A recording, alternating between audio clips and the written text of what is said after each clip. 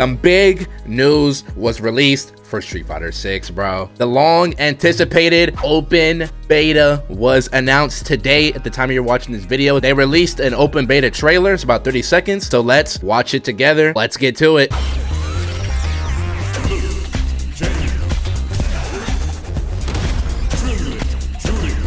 Oh my god, Juri, you're looking great.